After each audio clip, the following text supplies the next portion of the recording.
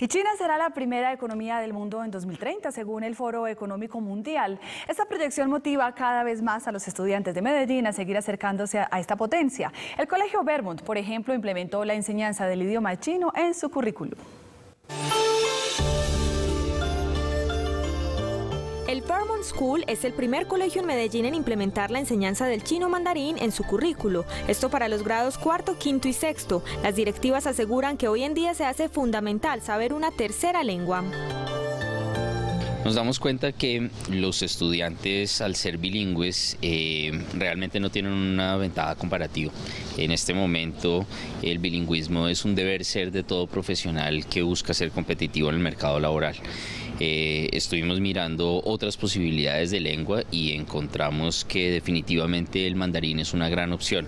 El plan de estudio será implementado en colaboración con el Instituto Confucio de Medellín. Van a tener una forma, un razonamiento diferente, porque además el chino mandarín trata de, mm, no solamente necesita memoria, sino también de... Eh, de creatividad y otras habilidades eh, cognitivas que, se, que van a ser diferentes en los chicos. 100 estudiantes serán beneficiados con este programa. Las clases serán impartidas por profesores nativos. 你们好，我是周梦涵，我来自中国，很高兴你们能够和我一起学习汉语，欢迎你们。